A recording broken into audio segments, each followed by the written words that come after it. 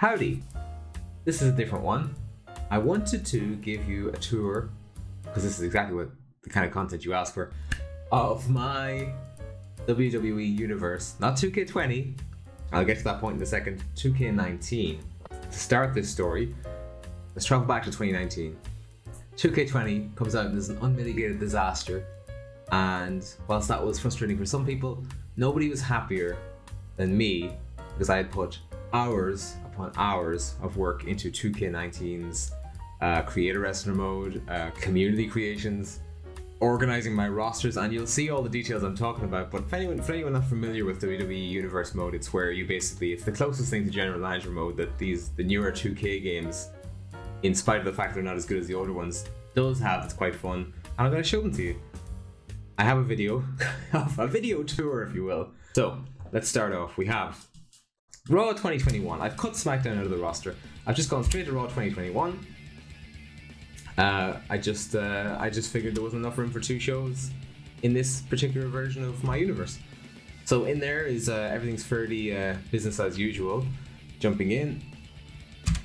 Somehow or another, Sami Zayn has become my Raw Universe champion. That's my championship I run. This gives you an idea of my roster. You've got some of the big names in there. And what you're going to see is uh, a lot of names not in there, and that's what I've used my second show for, but I'll get to that in a second. She is the bar, Richie. So this is the most normal of the shows I have. Uh, it's, it's, a, it's a little lacking in the tag team division, but uh, it's got a flourishing intercontinental division. And now go to my Tuesday show, which is uh, AEW, but not just AEW. As you can see, I have, like a mad scientist, merged AEW and NXT into uh, one giant organization, which is just considered the alternative. And uh, you're going to see a mixture of the two in there. Now, get a load of that roster. You've got AEW originals.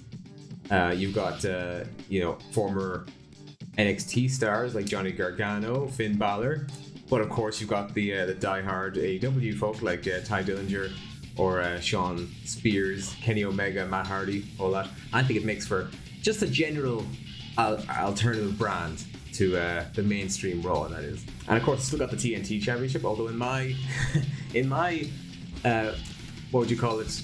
In my version of reality, the TNT Championship is basically the lowest of the low. And as you can see from the bottom of the roster, it's all the names who just don't fit anywhere else and don't I mean, El Mago is that even real? That's one of the characters that are just in the game, I think.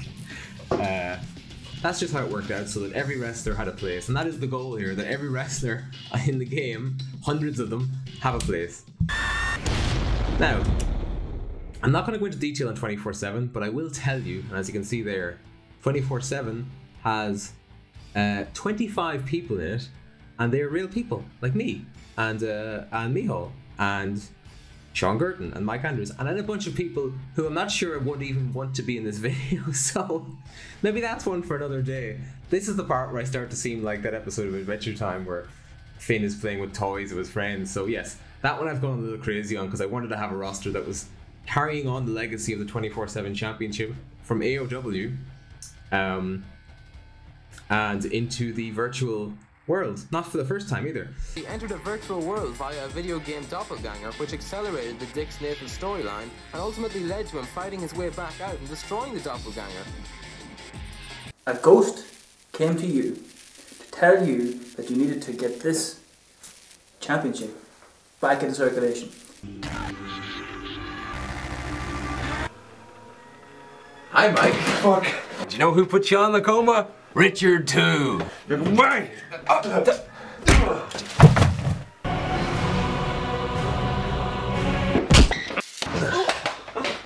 Chicks and hot.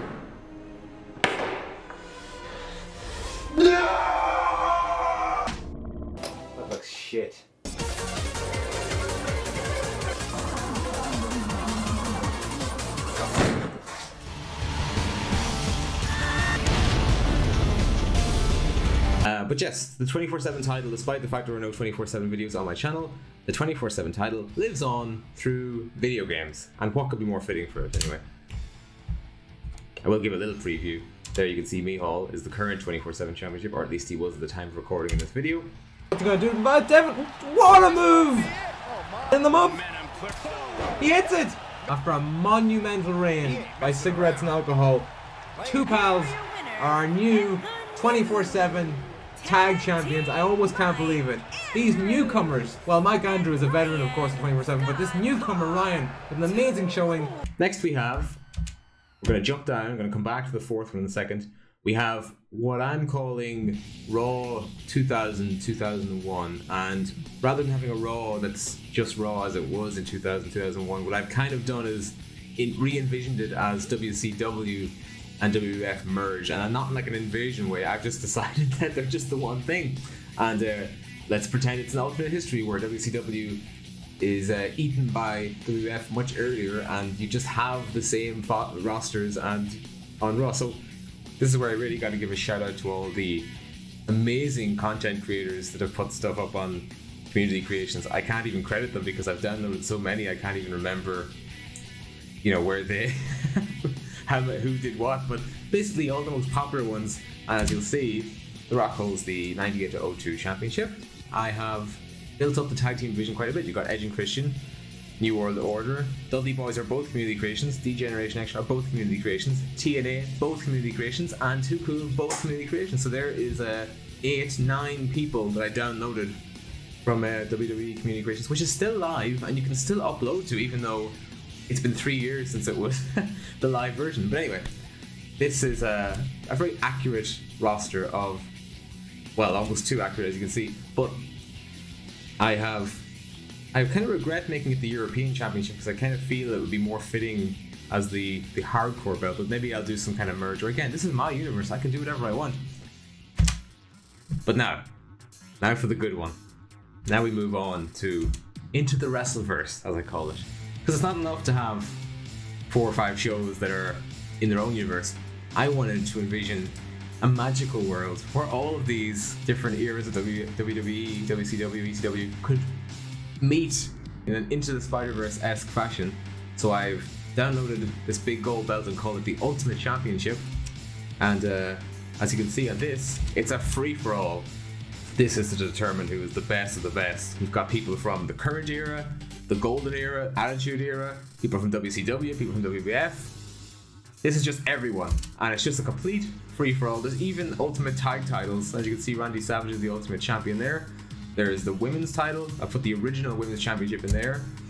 We've got the the Young Bucks, Edge and Christian, Rock and Roll Express, the Wyatts, and the Usos. So it's like it's just a complete free for all. As you and and it's it's sheer impossibility is what makes it so good.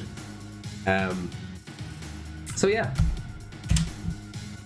So that's the that's a summary of the rosters. It's ongoing.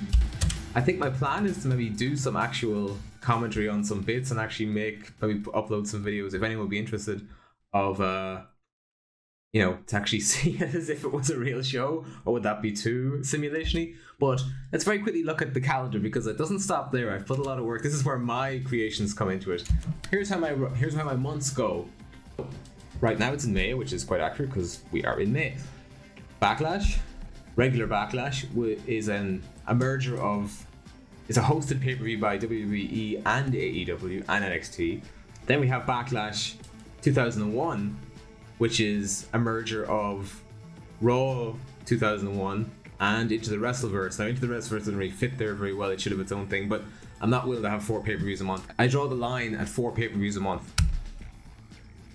And then, where it gets most interesting, even though I haven't gone into the detail of the roster, I've imported my old AOW pay per views 12 of them into this version of reality. And uh, 24-7 has its own pay-per-view. Not enough it doesn't have to share with anything because it's got its own full roster. 24-7 has a pay-per-view month.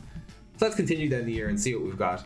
We go from our main pay-per-views then we have extreme rules judgment day aow awakening things that kind of fit the same kind of theme. We have attitude era king of the ring uh, modern era Money in the Bank, AOW Mutiny, because AOW Mutiny had a, a, a, you know, AOW Mutiny had a ladder match one, so I just thought that's where that goes.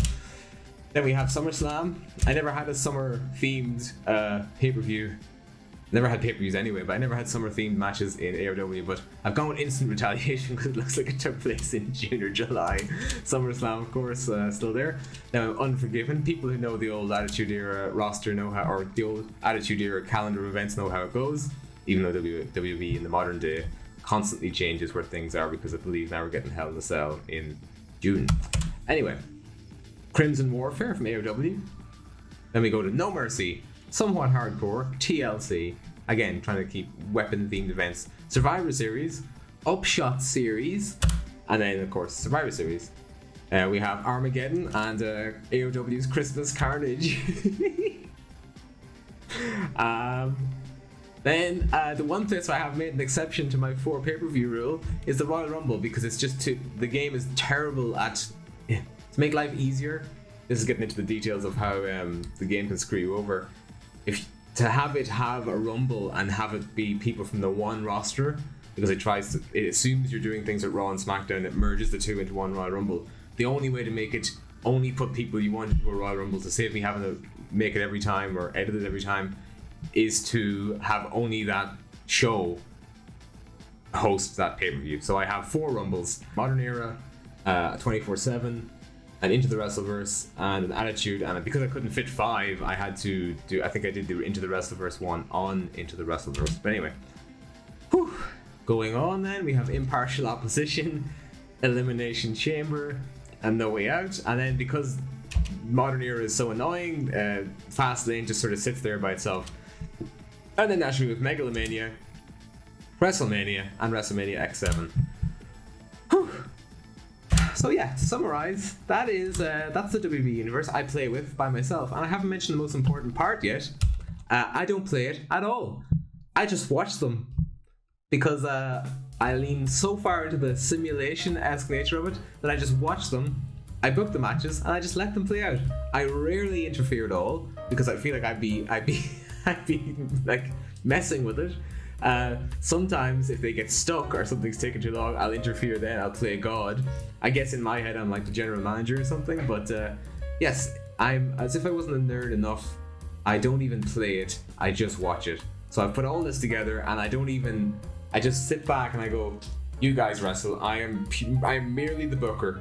Uh, I am somewhat omnipotent, to to a degree.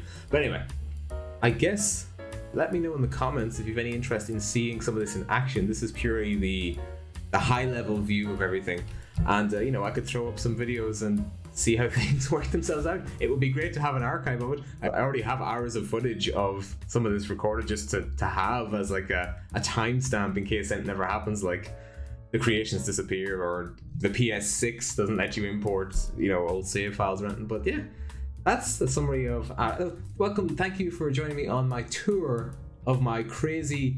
I have too much time in my hands. 2K19. What's gonna happen when 2K22 eventually comes out and it's actually good? I don't. think- I don't think it's gonna happen. But if it does, I can't just carry everything across. I'll have to start all over again, blank slate, and that's that's rough. But um, I'm lazy. I'll just download a bunch of other people's work again. But that's the main thing I think is it. It it stands a testament to how great some of these community creations are, and uh, that's what I want to make sure the credit goes to, without actually specifically giving credit. So I'm trying my best. but anyway, thank you for watching, and this was uh, this was a tour of. Uh, this madness, and uh, hopefully you're up for seeing more of it because uh, I'd like to make videos about it. Bye. Married your girlfriend in Tokyo. You jealous? Are you worried? You should be, fella. Because it's just me and her in Tokyo.